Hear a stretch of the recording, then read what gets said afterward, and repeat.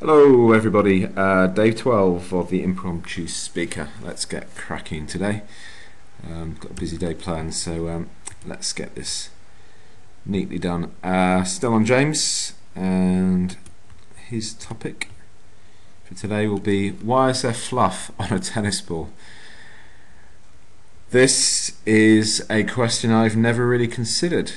Um, I do play tennis. I'm quite a fan of tennis actually. I was lucky enough to go to quite a few games during the Wimbledon tournament last year, uh, which is a cracking place, um, an amazing atmosphere. The centre court, I was lucky enough to get about three, four days on the centre court. And it's great because, unlike a lot of other sporting occasions, you can take a couple of beers in there, sit back, relax, and just enjoy the sunshine. And tennis is a great game because it can go on for three or four hours per match. And at Wimbledon, you can get three or four matches on a centre court, so you've got a whole day. And now that they've got the um, retractable roof, happy days because even if it rains, you can still watch tennis.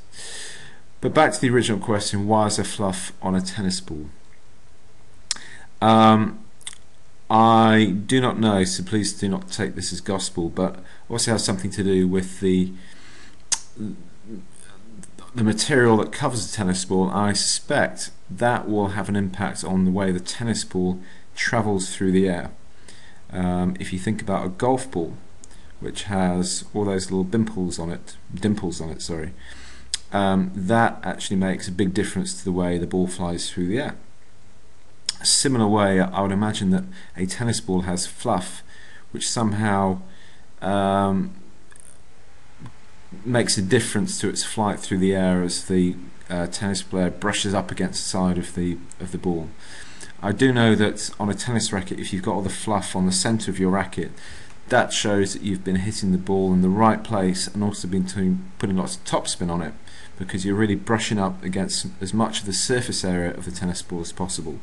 Um, maybe one for people to research, but I'm not entirely sure why it's fluffing a tennis ball, but I suspect it's to have an aerodynamical impact and help put spin on the ball. So that's my view on fluff on a tennis ball. Thank you guys, and I look forward to speaking to you tomorrow.